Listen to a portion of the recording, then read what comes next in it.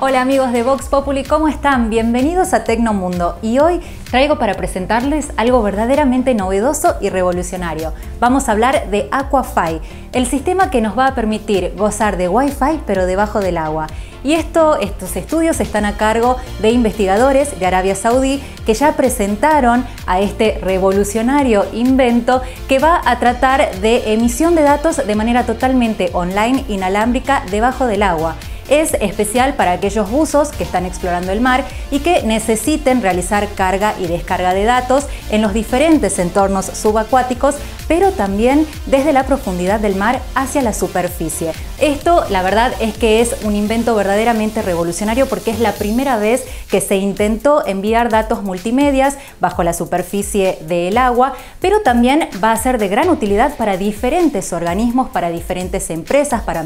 para mejorar la